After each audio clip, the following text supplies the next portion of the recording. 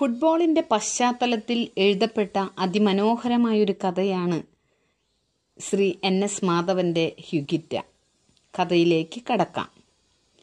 Penalty kick കാത്തുനിൽക്കുന്ന ഗോളിയുടെ ഏകാന്തത എന്ന German നോവലിനെ കുറിച്ച് ഇറ്റലിയിൽ നിന്നെത്തിയ സാഹിത്യ സ്നേഹിയായ ഫാദർ കപ്രിയേറ്റി ഗീവർഗീസ് അച്ഛനോട് ഒരിക്കൽ ഏറിയാൽ രണ്ട് തവണ പറഞ്ഞിരിക്കണം.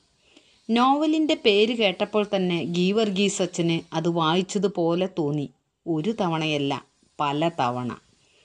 എല്ലാവരാലും ഒറ്റുകൊടുക്കപ്പെട്ട് രണ്ട് കൈകളും വിടർത്തി ഗോളി പെനാൽറ്റി കിക്ക് കാത്തു നിൽക്കുന്നു. ഗാലറികളിൽ അൻപതിനായിരം തുപ്പൽ പറ്റിയ തൊണ്ടകൾ അപ്പോൾ നിശബ്ദമായിരിക്കും.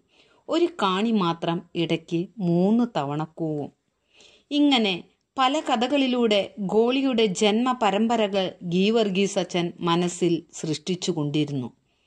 ആ ജർമ്മൻ നോവൽ വായിക്കണമെന്ന് അച്ഛന് തോന്നിയതേയില്ല അതോടെ ഗോളിയുടെ ജാതക കഥകൾ അവസാനിക്കും. പിന്നെ നോവലിൽ എഴുതിയത് മാത്രമായി അവന്റെ കഥ ചുരുങ്ങുന്നു. ആദ്യത്തെ കുറച്ച് ദിവസം ഗോളി മാറ്റമില്ലാതെ യേശു ക്രിസ്തു ആയിരുന്നു. ഒന്നാം നമ്പർ ജേഴ്സി അണിഞ്ഞ് കർത്താവ് പല പന്തുകളും തട്ടിമാറ്റി. കുറച്ചു നാളുകൾക്ക് ശേഷം പെട്ടെന്ന് ഗോളി ഗോളിയത്തായി. ഒന്നും മുറുമുറുക്കുവാൻ ഇരു ചെവി പോലും ഇല്ലാതെ ആകാശം മുട്ടി നിൽക്കുന്ന ഏകാന്തതയിൽ കവണിയിൽ നിന്ന് തൊടുത്തുവിട്ട പെനാൽറ്റി കിക്ക് കാത്ത് ഗോളി നിന്നു. ബഹുരൂപിയായ ഗോളിയുടെ സാധ്യതകൾ ദിവസം പ്രതി വർദ്ധിച്ചുകൊണ്ടേയിരുന്നു. ഗീവർഗീസച്ചന്റെ ഇടവക തെക്കൻ ദില്ലിയായിരുന്നു. കുറച്ച് മലയാളികൾ ബീഹാറിൽ നിന്നെത്തിയ വീട്ടുവേലക്കാരികളായ ഏതാനും ആദിവാസി പെൺകുട്ടികൾ. വിശ്വാസികളായി അത്രയും പേരെ ഉണ്ടായിരുന്നുള്ളൂ. ആഴ്ചയിൽ ഒരിക്കൽ അച്ഛൻ ബിഷപ്പിനെ കാണുവാൻ പോകും. വല്ലപ്പോഴും സാഹിത്യ ചർച്ച ചെയ്യുവാൻ ഫാദർ കപ്രിയേറ്റി എത്തിച്ചേരും. അടുത്ത കാലത്ത് കുറച്ച് ആഴ്ചകളായി കുർബാന കഴിഞ്ഞ് പുറത്തേക്കിറങ്ങുമ്പോൾ ആദിവാസി പെൺകുട്ടി ലൂസി മരണ്ടി അച്ഛനെ കാത്തു നിൽക്കാറുണ്ടായിരുന്നു. ഫാദർ അയാൾ പിന്നെയും വന്നു. കഴിഞ്ഞ തവണ കണ്ടപ്പോൾ ലൂസി പറഞ്ഞു ആര് ലൂസി?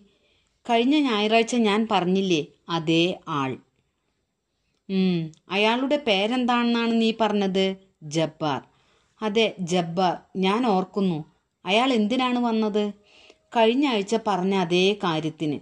ഗീവർഗീസ് അച്ഛൻ ദുർബലമായി മൂളി. പിന്നെയും അയാൾ എന്നോട് കൂടെ ചെല്ലാൻ പറഞ്ഞു. ഓർമ്മകൾ പെട്ടെന്ന് അച്ഛന്റെ മനസ്സിൽ ഉൽക്കകളായി പെയ്തു. ആദിവാസികളിൽ നിന്ന് കോഴിയും മഹവയും കോറത്തുണിയും വാങ്ങി പുറത്തു വിറ്റിരുന്ന ഒരു ഇടനിലക്കാരനായിരുന്നു ജബ്ബാർ. കുറച്ചു കഴിഞ്ഞപ്പോൾ പ്രത്യേകിച്ചും പഞ്ഞമാസങ്ങളിൽ ആദിവാസി പെൺകുട്ടികളെ ജോലി വാങ്ങിക്കൊടുക്കാം എന്ന് പറഞ്ഞ് ജബ്ബാർ പുറത്തേക്ക് കൊണ്ടുപോകുവാൻ തുടങ്ങി. അങ്ങനെയാണ് റാഞ്ചിയിൽ നിന്ന് തീവണ്ടി കയറി കടുകെണ്ണ മണക്കുന്ന സ്റ്റേഷനുകൾ പിന്നിട്ട് ലൂസി ദില്ലിയിലെത്തിയത്. വാക്ക് തെറ്റിക്കാതെ ജബ്ബാർ ലൂസിക്ക് ഒരു വീട്ടിൽ ജോലി ശരിപ്പെടുത്തി. മാസാമാസം ജബ്ബാർ അവളെ കാണുവാൻ എത്തിയിരുന്നു. ആദ്യം അയാൾ പൈസ ചോദിക്കുമോ എന്ന് ലൂസി പേടിച്ചു. എന്നാൽ ജബ്ബാർ ആകട്ടെ എല്ലാ തവണയും ലൂസിക്ക് സമ്മാനമായി എന്തെങ്കിലും കൊണ്ടു ചെല്ലും നെറ്റിയിൽ ഒട്ടിച്ചു വയ്ക്കാവുന്ന പൊട്ടുകൾ ചന്ദനം മണക്കുന്ന പൗഡർ ലൂസിയുടെ ആദ്യത്തെ അസൽ ബ്രേസിയേഴ്സ്. അതും കറുത്ത നിറമുള്ളത്. ഒരു ദിവസം ജബ്ബാർ ലൂസിയോട് പറഞ്ഞു പണി നിർത്തി നീ എന്റെ കൂടെ വാ. ലൂസി നിസ്സംശയം അതു തന്നെ ചെയ്തു. അന്ന് വൈകുന്നേരം ജബ്ബാർ അവൾക്ക് മഞ്ഞയിൽ ചുവന്ന പുള്ളികളുള്ള റെഡിമെയ്ഡ് സൽവാറും കമ്മീസും കൊണ്ടുവന്നു കൊടുത്തു. ചുവന്ന നൈലക്സിന്റെ ദുപ്പട്ട കൊണ്ട് തലമുടി കറുത്ത കാപ്പിരിച്ചുണ്ടുകളിൽ തിളങ്ങുന്ന കറുത്ത ലിപ്സ്റ്റിക്ക്. എല്ലാം അണിഞ്ഞ് കൂടെ ചൊല്ലുവാൻ ലൂസിയെ ജബ്ബാർ നിർബന്ധിച്ചു.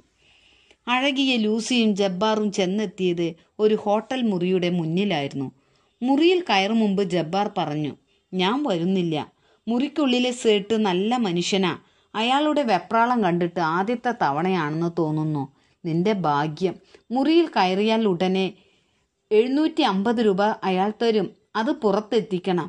പിന്നെ കാര്യം തീരുമ്പോൾ നിന്റെ മിടുക്കനുസരിച്ച് ബഡ്ഷീസും ബഡ്ഷീസ് നിനക്കുള്ളതു മാത്രമാണ്. ലൂസി ഹോട്ടൽ ലോബിയിലൂടെ തിരിച്ചോടി ജബ്ബാർ പുറകിലും. യാത്ര തീർന്നപ്പോൾ ലൂസി ജബ്ബാറിന്റെ വീട്ടിൽ താഴെയിട്ട മുറിക്കുള്ളിൽ ആയിരുന്നു. ഞാൻ നിന്നെ കല്യാണം കഴിക്കാൻ പോകുന്നു. അവളുടെ തലമുടി പകുത്തതിന്റെ നടുവിൽ ജബ്ബാർ കത്തുന്ന സിഗരറ്റ് കൊണ്ട് സിന്ദൂരം തൊടുവിച്ചു. പിന്നെ ലൂസിക്ക് കല്യാണപ്രായമായിട്ടില്ലെന്നും അവൾ കൊച്ചുകുട്ടിയാണെന്നും പറഞ്ഞ് അതേ സിഗരറ്റ് കൊണ്ട് തന്നെ അവളുടെ ഉള്ളംകാലിന്റെ വെള്ളയിൽ അയാൾ ഇക്കിളിപ്പെടുത്തി. അപ്പോഴെല്ലാം ഏതോ ഹിന്ദി സിനിമയിലെ വില്ലനെ പോലെയാണ് ജബ്ബാർ സംസാരിച്ചിരുന്നതെന്ന് ലൂസി പറഞ്ഞു. എങ്ങനെയാണ് ലൂസി അവിടെ നിന്ന് രക്ഷപ്പെട്ടതെന്ന് അച്ഛന് ഓർമ്മ വന്നില്ല. കാരണം കഥ അവിടെ എത്തിയപ്പോഴേക്കും മനസ്സിന്റെ ഗാലറികൾ നിറഞ്ഞു കഴിഞ്ഞിരുന്നു.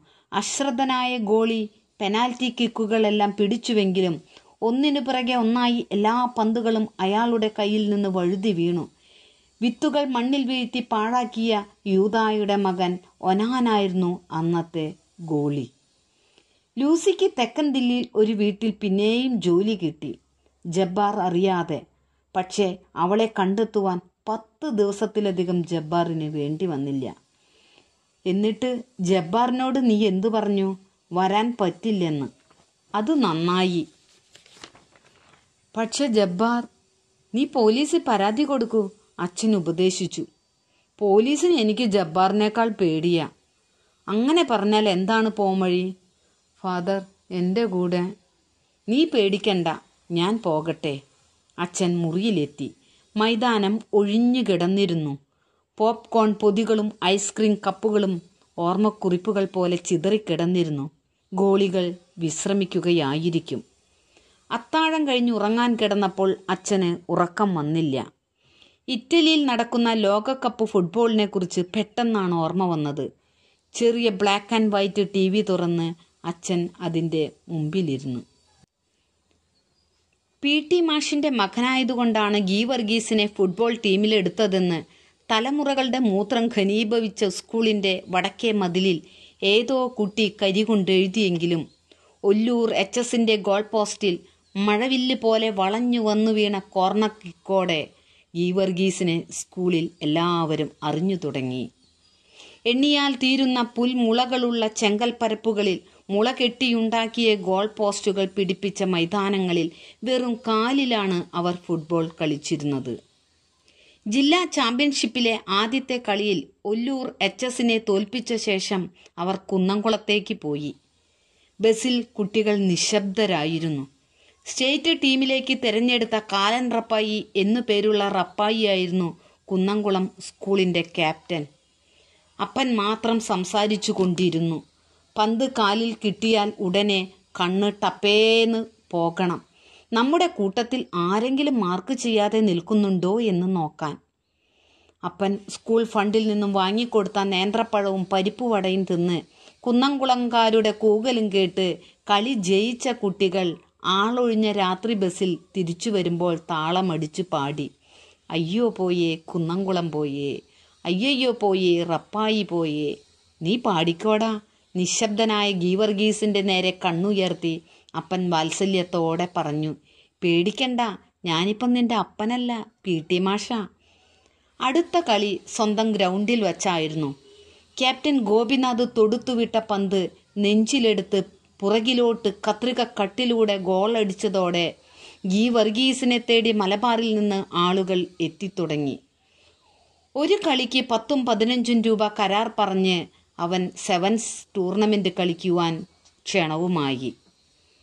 കൊയ്ത്തു കഴിഞ്ഞ വയലുകളിൽ പന്തയക്കാരുടെ ആർപ്പുവിളിയിൽ ഗീവർഗീസ് സെവൻസ് കളിച്ചിരുന്നത് അപ്പന് ഇഷ്ടമല്ലായിരുന്നു.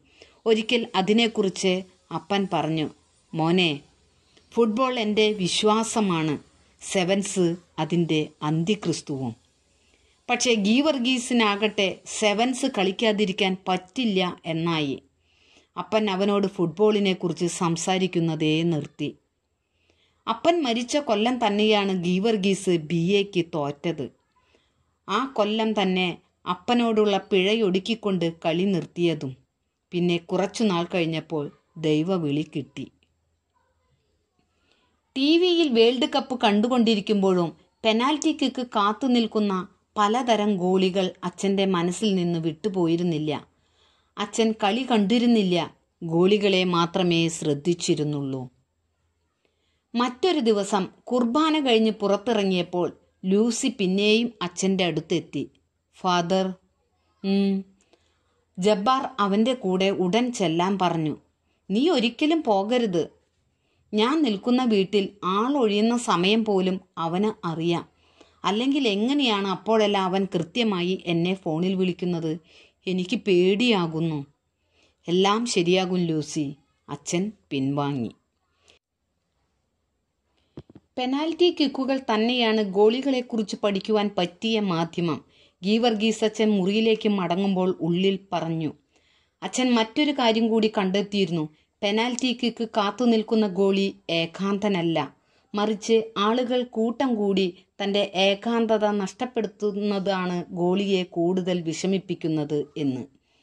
ഗീവർഗീസ് അച്ഛൻ ലൂസിയെ പിന്നീട് കണ്ടത് സ്കൂട്ടറിൽ പോകുമ്പോഴായിരുന്നു ഐ എൻ എം മാർക്കറ്റിന്റെ അടുത്ത് വെച്ച്. ഓട്ടോറിക്ഷയിൽ പോയിരുന്ന ലൂസി അച്ഛനെയും കണ്ടു. ഓട്ടോറിക്ഷക്കാരന്റെ പുറത്ത് തട്ടി വണ്ടി നിർത്തുവാൻ ലൂസി പറയുമ്പോഴേക്കും അച്ഛൻ സ്കൂട്ടറിന്റെ ഗിയർ മാറ്റി വേഗത്തിൽ ഓടിച്ചുപോയി. ഗോളികളെക്കുറിച്ചുള്ള ഗീവർഗീസ് അച്ഛന്റെ പഠനത്തിലെ ഒരു ചെറിയ അടിക്കുറിപ്പായിട്ടാണ് ടി വിയിൽ കൊളംബിയയുടെ ഗോളിയായ ഹിഗുറ്റ പ്രത്യക്ഷപ്പെട്ടത്.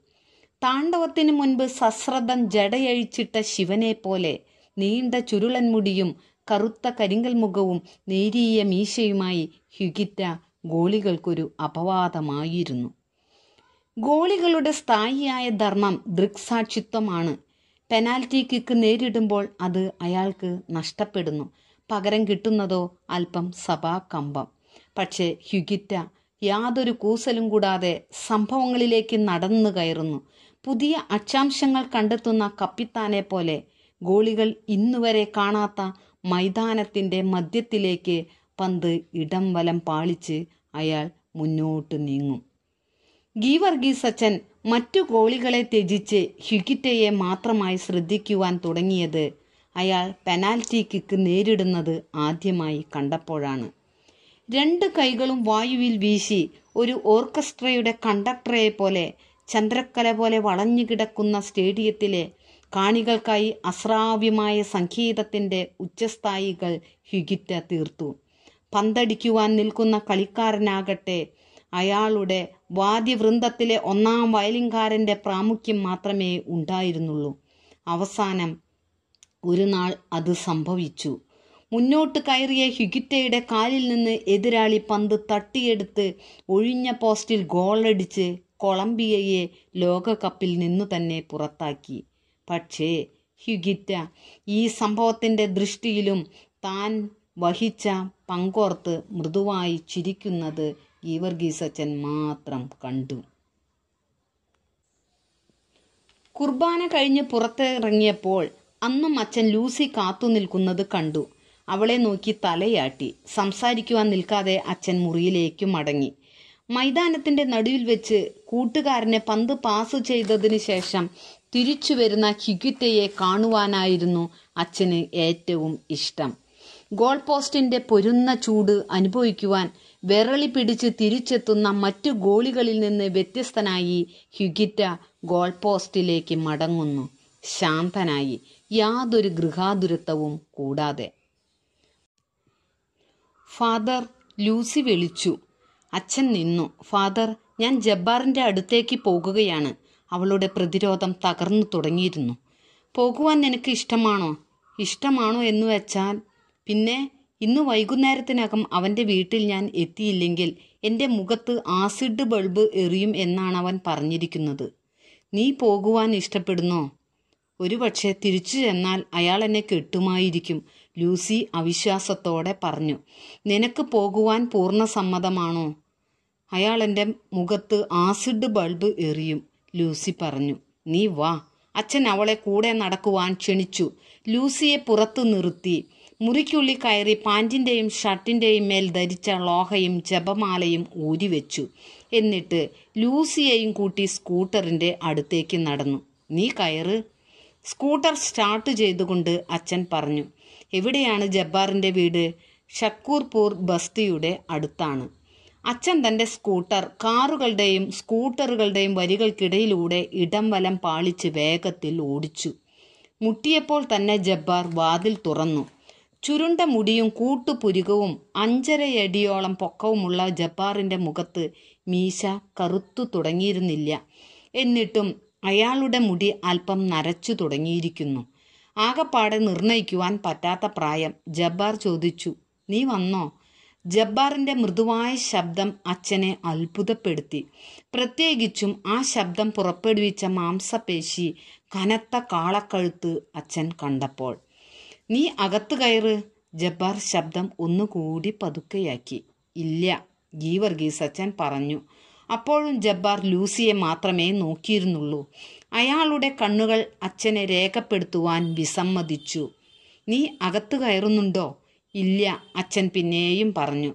ജബ്ബാർ അപ്പോഴും അച്ഛനെ നോക്കിയില്ല. വികാരരഹിതമായ ശബ്ദത്തിൽ അയാൾ ലൂ ലൂസിയോട് സ്വകാര്യം പറയുന്ന അടുപ്പത്തിൽ പറഞ്ഞു. ലൂസി ഇദ്ദേഹം ഇവിടുന്ന് പോകുന്നതല്ലേ നമുക്കെല്ലാം നല്ലത്? അല്ല ലൂസി പറഞ്ഞു. അപ്പോൾ ജബ്ബാറിന്റെ കൈ ഉയർന്നതും ലൂസി ഒരു ചുവട് പുറകോട്ട് വെച്ചതും തലശ്ശേരിക്കടുത്ത് ഒരു വയലിൽ സെവൻസ് കാണാനെത്തിയവർ ഗീവറീതേ ഗീവറീതേ എന്നാർത്തതും ഒരുമിച്ചായിരുന്നു. പഴയ ഫോട്ടോഗ്രാഫുകളുടെ മഞ്ഞ നിറമുള്ള ഒരു ഓർമ്മയിൽ പി ടി മാഷ് ദൂരെ ഒരു കൗങ്ങും ചാരി നിൽക്കുന്നത് കണ്ണിന്റെ സീമകളിൽ പാടപ്പറ്റി കിടക്കുമ്പോൾ തന്നെ ഗീവർഗീസ് കാലുയർത്തി അടിച്ചു. വിരിനെഞ്ചിൽ പന്തെടുത്ത് തല കൊണ്ടടിച്ചു. അടുത്ത അടി കാൽ പൊക്കിയായിരുന്നു. പിന്നെയും പിന്നെയും. പിന്നെ സ്ലോ മോഷനിൽ ആ അടി ആവർത്തിച്ചു. നിലത്തു വീണ ജബ്ബാറിന്റെ മൂക്കിൽ നിന്ന് ചോര പടർന്നു. വലിയ അക്ഷരത്തിൽ ഒക്ലഹാമോ എന്നെഴുതിയ ബനിയൻ കൂട്ടിപ്പിടിച്ചെഴുന്നേൽപ്പിച്ച് ഗീവർഗീസ് അച്ഛൻ പറഞ്ഞു നാളെ സൂര്യോദയം എന്നൊന്നുണ്ടെങ്കിൽ നിന്നെ ദില്ലിയിൽ കണ്ടുപോകരുത്. അച്ഛൻ കൈവിട്ടപ്പോൾ ജബ്ബാർ കാൽ കുഴഞ്ഞ് നിലത്തു വീണു. ലൂസിയെ അവൾ നിന്നിരുന്ന വീടിന്റെ മുമ്പിൽ ഇറക്കി വിട്ടിട്ട് അച്ഛൻ തന്റെ മുറിയിലേക്ക് മടങ്ങി. ശാന്തനായി യാതൊരു ഗൃഹാതുരത്വവും കൂടാതെ.